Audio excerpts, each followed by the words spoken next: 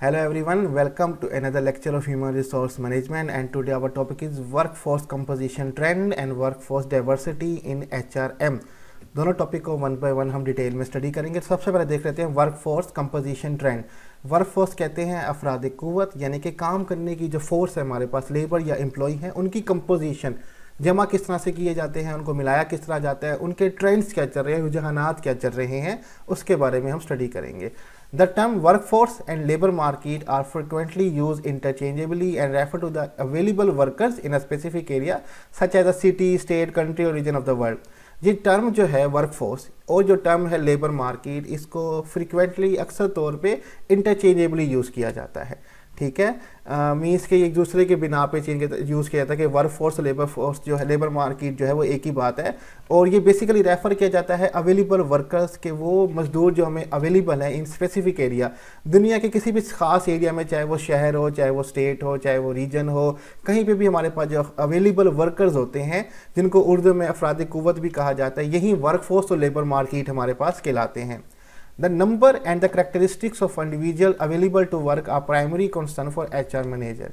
जो तादाद है और खसूसियात हैं इन इंडिविजुअल्स की जो हमारे पास अवेलेबल हैं काम करने के लिए, ये बड़ा प्राइमरी अहम कंसर्न है फॉर एच आर मैनेजर्स के लिए। जितने भी ह्यूमन रिसोर्स मैनेजर होते हैं, किसी भी ऑर्गेनाइजेशन के अंदर, उनकी ऑर्गेनाइजेशन जिस एरिया रीजन या सिटी में होती है, वहाँ पर नंबर तादाद कितनी है इंडिविजुअल्स की और उनके करेक्टरिस्टिक यानी कि उनकी स्किल्स खसूसियात क्या क्या है उनके अंदर, ये बड़ा इंपॉर्टेंट होता है एच आर मैनेजर्स के लिए, क्योंकि वहीं के लोगों को शायद उनको हायर करना पड़े तो बड़ा इंपॉर्टेंट होता है इनके लिए ये नंबर और करेक्टरिस्टिक जो लोग अवेलेबल हैं काम करने के लिए Many factors influence the composition of the global workforce, including global economics, birth rate and education etc. बहुत सारे फैक्टर्स हैं अनासर और हैं जो इन्फ्लुएंस करती है असरअंदाज होती हैं the composition of global workforce कि ग्लोबल वर्कफोर्स जो है यानी कि अफराद कुत जो है जो लेबर्स या वर्कर्स अवेलेबल हैं हमारे पास उनकी कंपोजिशन यानी कि किस तरह से उनको कंपोजिट जमा किया जाता है पूरे अराउंड द ग्लोब ये बहुत सारे फैक्टर इस पर असरअंदाज होते हैं। चाहे वो ग्लोबल इकोनॉमिक्स हो, हमारी ग्लोबल माशी हालत कैसी है, चाहे बर्थ रेट हो, कि किस कहाँ पे कितनी उम्र के लोग ज़्यादा हैं या किस उम्र पे लोग पैदा किए जा रहे हैं यंग कितने हैं, बूढ़े कितने हैं, बच्चे कितने हैं, किस एरिया में, चाहे ये बात हो, चाहे एजुकेशन हो, ठीक है, चाहे तालीम हो, ये चीज़ें बड़ी असरअंदाज होती हैं हमारे पास वर्क फोर्स कंपोजिशन के अंदर अराउंड द ग्लोब ठीक है कि बर्थ रेट क्या है कितने बच्चे हर साल किस एरिया में पैदा होते हैं इकोनॉमिक कंडीशन क्या अराउंड द ग्लोब और तालीम क्या है उनकी ये बड़ी असरअंदाज होती है। Several trends emerge that concern HR professional involved in planning and staffing, especially in global organization. बहुत सारे ट्रेंड्स हैं आजकल आपको पता है ट्रेंड्स का मतलब होता है कि रुझान चल जाना। आजकल फलां का ट्रेंड है आजकल फलां का ट्रेंड चल रहा है कपड़ों पे बहुत सारे ट्रेंड आते हैं। तो सेवरल ट्रेंड हैं जो कि एचआर से ताल्लुक़ रखते हैं एम्प्लॉय से ताल्लुक़ रखते हैं ठीक है?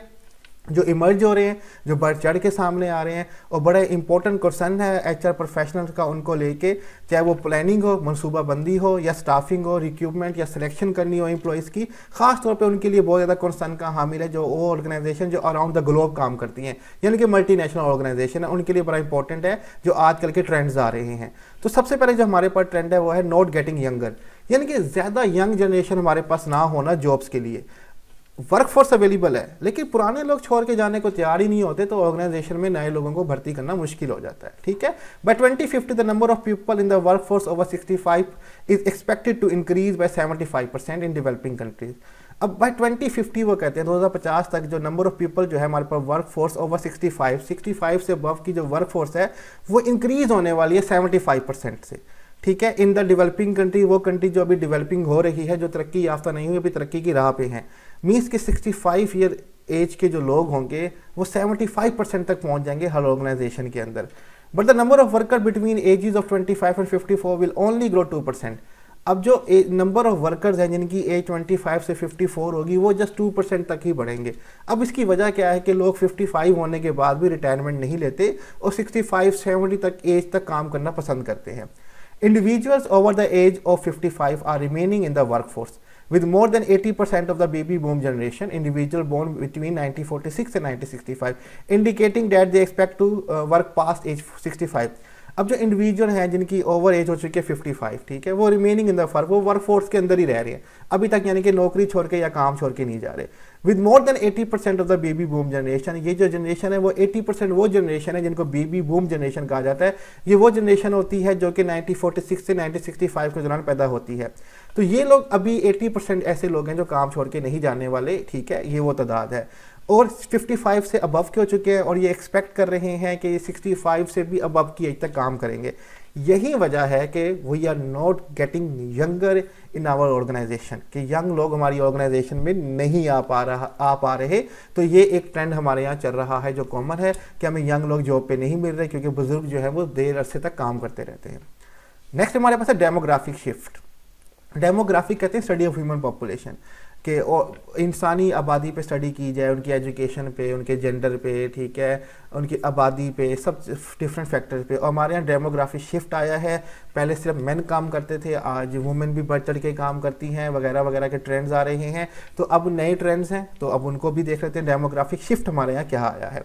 In many countries now significant number of women are expected to come in the work force अब बहुत सारी कंट्रीज़ के अंदर सिग्निफिकेंट नंबर बहुत ही अहम नंबर हैं, बहुत ही खास नंबर हैं वुमेन के जो कि आ रही हैं बढ़ चढ़ के वर्क फोर्स के अंदर, ठीक है? वर्कर्स जो अवेलेबल हैं जॉब के लिए। Hispanis and Asians have been the fastest growing ethnic group in the population and in the workforce over the last three decades. हिस्पेनिस यानी कि स्पेन के जो इलाके हैं और एशियन के जो इलाके हैं, वो फास्ट ग्रोइंग एथनिक ग्रुप हैं हमारे पॉपुलेशन के। वर्क फोर्स के अंदर जो तेज़ी से बढ़ रहे हैं लास्ट थ्री डिकेट्स के अंदर से। And U S DOL department of labour U S का जो डिपार्टमेंट ऑफ़ लेबर है, उसने प्रिडिक्ट किया है, ये ट्रेंड जो है कंटिन्यू रहेगा फॉर द नेक्स्ट डिकेट्स इसकी डिटेल जो है हम आगे जाके स्टडी करेंगे। बस बात यही है कि डेमोग्राफिक शिफ्ट आ रहा है। हमारे यहाँ पहले मैन फोर्स ज़्यादा होती थी, अब वुमेन फोर्स भी बढ़ चढ़ के हिस्सा ले रही है। और तो ख़ास पे एशियन और स्पेनिश के जो इलाके हैं, वहाँ पे ये बढ़ चढ़ के हो रहा है। और यूएस डिपार्टमेंट का यही कहना है कि ये जो ट्रेंड है, ये कंटिन्यू रहेगा नेक्स्ट डिकेड के लिए भी। इसके बारे में डिटेल जो है हम आने वाले अगले चैप्टर में स्टडी करेंगे।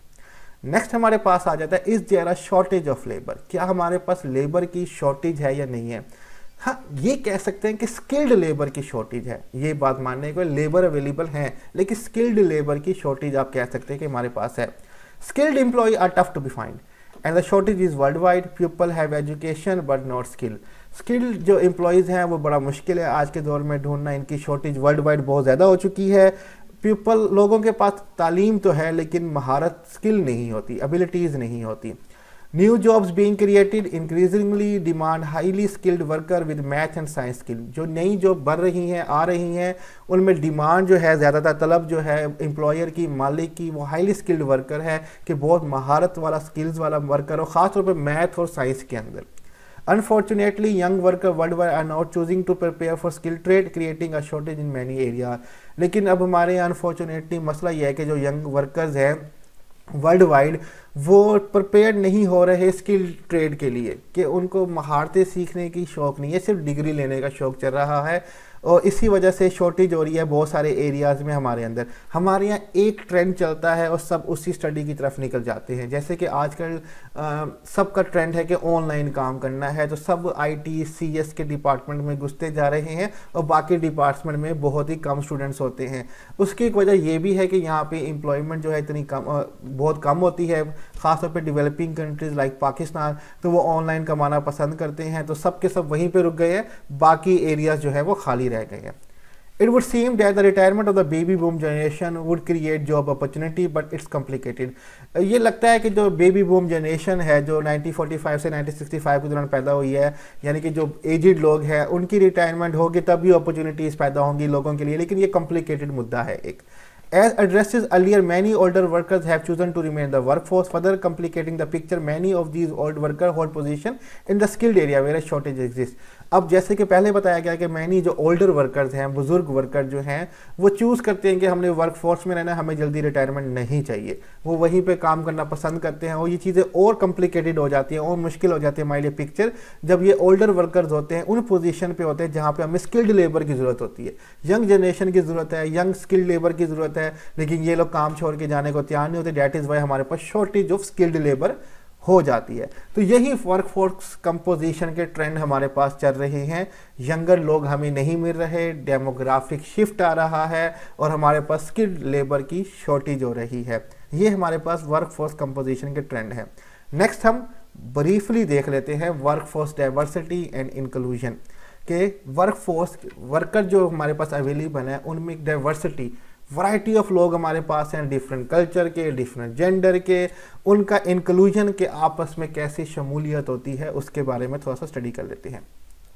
Work force diversity is bringing together variety of people to one work place work force diversity का मतलब है कि वैरायटी ऑफ़ पीपल को, तरह तरह के लोगों को एक वर्क प्लेस पे ब्रिंग टुगेदर एक साथ लेके आना। This work place would be compose of people with a wide range of experiences background and characteristics such as age gender, race, religion, uh, ability and make the workplace diverse. ये जो work place है would be compose of people ये उन लोगों का मजमा होता है, जमा किया हुआ लोग होते हैं, जहाँ पे वाइड रेंज ऑफ़ एक्सपीरियंस होती है। तजुर्बेकार मुख्तलिफ़ होता है, हर शख्स का, कोई यंग है, कोई ओल्ड है बैकग्राउंड डिफरेंट है, कोई अमीर बैकग्राउंड से है, कोई गरीब बैकग्राउंड से है, कोई तालीम याफ्ता है, कोई कम तालीम वाला है, कोई फ़लाँ यूनिवर्सिटी से फ़लाँ यूनिवर्सिटी से खसूसियात उनकी अलग अलग हैं, जैसे कि रेस हो गई, नस्ल अलग है जेंडर मेल फीमेल हो सकते हैं रिलीजन अलग हो सकता है एज मुख्तलिफ़ हो सकती है, उनकी एबिलिटीज़ वगैरह डिफरेंट हो सकती हैं। हैं और वही ये तमाम चीज़ें मुख्तलिफ़ होना ही वर्क प्लेस को डाइवर्स बनाती हैं डाइवर्सिटी बनाती हैं कि मुख्तलिफ़ तरह के लोग एक ही जगह पे हमारे पास हैं पड़े। अब जब मुख्तलिफ़ तरह के लोग एक ही जगह पे जो होते हैं, इनका असर क्या होता है? क्या ये ऑर्गेनाइजेशन के लिए बेहतर होता है या बुरा होता है, हम ये भी देख लेते हैं। Impact of work force diversity on organisation and H कि असर क्या होता है वर्कफोर्स डाइवर्सिटी का, मुख्तलिफ़ लोगों का वराइटी ऑफ़ पीपल का एक जगह काम करने का असर क्या होगा ऑर्गेनाइजेशन के ऊपर और एचआरएम के ऊपर? Having different perspective at your organisation can increase your creativity and may allow people to positively collaborate with one another जब मुख्तलिफ़ लोग होंगे तो डिफरेंट परस्पेक्टिव होंगे डिफरेंट नज़रिया होगा नुक़ नज़र होगा डिफरेंट ख्याल होंगे। ये चीज़ होना ऑर्गेनाइजेशन के अंदर इंक्रीज़ करती है क्रिएटिविटी को, ठीक है? कि तख्लीकी इनोवेटिव माइंड्स को इंक्रीज़ करती है और अलाउ करती है लोगों को कि पॉजिटिवली कोलेबोरेट करें, एक दूसरे के साथ तावन करें, ठीक है? ताकि बढ़ चढ़ के काम किया जा सके नए नए आइडियाज़ जनरेट कर सकें और डिफरेंट कल्चर से लोग आए हुए होंगे तो उनको पता होगा कहाँ पर क्या चीज़ सही काम करेगी। This collaboration would bring additional innovation and ability for your business to stay ahead in this change timing. ये जो collaboration है ये वैरायटी ऑफ़ पीपल की, ठीक है डाइवर्सिटी की कुड ब्रिंग एडिशनल इनोवेशन ये ज़्यादा इनोवेशन तब्दीली और तख्लीकी बेहतरी लेके आ सकती है, ठीक है? And ability for your business to stay ahead और ये आपको एबिलिटी फरहम करेंगी कि आप बिज़नेस में आगे रहें दूसरों से इन दिस चेंजिंग टाइमिंग जो टाइम जो आजकल का ज़माना है, इसमें हर वक्त तब्दीली ट्रेंड वगैरह बहुत जल्दी चेंज हो जाते हैं। और जब आपके पास वैरायटी ऑफ़ लोग काम कर रहे होते हैं तो ये आपको मददगार साबित होते हैं कि आपकी ऑर्गेनाइजेशन दूसरों से आगे रह सके। So why not consider work force diversity तो फिर वर्क फोर्स डाइवर्सिटी पर ज़्यादा फोकस क्यों नहीं किया जाता? कि मुख्तलिफ़ तरह के लोग, मुख्तलिफ़ कल्चर के लोग, नस्ल के लोग एज के लोग एक ही जगह पे काम क्यों नहीं कर रहे होते? हमारी तो कोशिश होती है कि एक ही तरह के, एक ही माइंड सेट के लोग एक जगह पे हों ताकि कोई प्रॉब्लम क्रिएट ना हो। अब इसकी रीज़न क्या है? हम वो अगले स्लाइड में देख लेते हैं। Impact of work for diversity continue हो रहा है। With many positive there can be some disadvantage बहुत सारी मुस्बत चीज़ें तो हमने देख ली डाइवर्सिटी की, लेकिन इसके कुछ डिसएडवांटेज भी होते हैं नुकसान भी होते हैं। It may be difficult to bring together employee at different culture and communication style बाज़ात मुश्किल हो जाता है कि मुख्तलिफ़ कल्चर, सकाफ़त के और कम्युनिकेशन ज़बान के लोगों को एक ही जगह जमा किया जाए कि कल्चर डिफरेंट होता है, सकाफत डिफरेंट होती है कम्युनिकेशन स्टाइल डिफरेंट होता है, ज़बानें मुख्तलिफ़ होती हैं तो तरीका बात करने का डिफरेंट होता है तो इनको इकट्ठे जमा करना बाद मुश्किल हो जाता है। Your business may come across employees that are resistance to change or have negative feeling toward diversity. आपका बिज़नेस जो है, उसके जो एम्प्लॉयज़ हैं, आप सामना कर पर आपको करना पड़ सकता है कि जो आपके एम्प्लॉयज़ हैं, वो रेजिस्ट करते हैं चेंज को। कि तब्दीली लेके ना, जैसा ठीक है, काम चल रहा है, बस वैसे चलने दें। और वो डाइवर्सिटी की तरफ़ नेगेटिव फीलिंग रखते हैं कि तब्दीली ना करें वराइटी ऑफ़ लोग लेके ना जैसे हम लोग हैं, बस वैसे ही लोग हमें चाहिए। तो आपके अपने एम्प्लॉयज़ इस चीज़ को नेगेटिव लेके जा सकते हैं। They may impact human resource management to manage organisation अब ये चीज़ें जो है बहुत ज़्यादा असरअंदाज होती हैं ह्यूमन रिसोर्स मैनेजमेंट के ऊपर कि वो किस तरह से मैनेज करें अपनी ऑर्गेनाइजेशन को। तो यहीं पे हमारा वर्क फोर्स कंपोजिशन ट्रेंड और work force diversity and inclusion का टॉपिक जो है वो कंप्लीट होता है। लेक्चर को कंप्लीट सुनिएगा, तभी सारी अंडरस्टैंडिंग होगी आपको। स्लाइड्स का लिंक मैं डिस्क्रिप्शन में दे दूँगा, आप वहाँ से डाउनलोड कर सकते हैं और कोई भी टॉपिक से रिलेटेड क्वेश्चन और में हमसे पूछ सकते हैं। अपना ख्याल रखिएगा। खुदा हाफिज़।